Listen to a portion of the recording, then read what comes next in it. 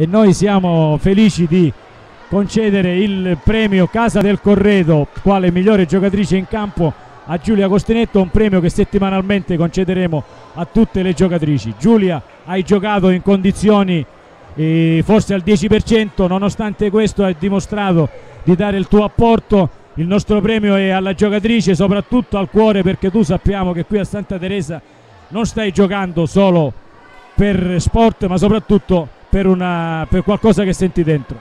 Sì, sì, è così, la mia scelta ovviamente è tutta a cuore, sono molto contenta, mi dispiace veramente di non essere stata al 100% questa sera perché, perché comunque quando uno si allena, gioca, aspetta questa partita... mm, cioè- vediamo visibilmente emozionato. Per una che ha giocato in Serie A2 e che ha il curriculum del tuo livello significa capire quanto tu ci tieni a questa squadra, quanto tu ci tieni a questo ambiente e sicuramente eh, riveliamo cosa è successo durante l'ultimo allenamento, l'abbiamo detto già in diretta, hai avuto un infortunio.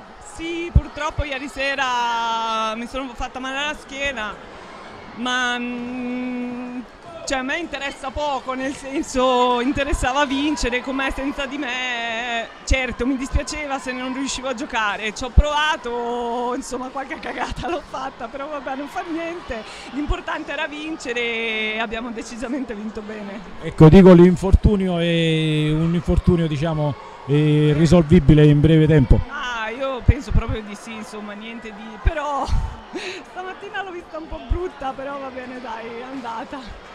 E adesso dopo questa vittoria sull'Aragona eh, Io riposo, gli altri non lo so, io voglio riposarmi domani.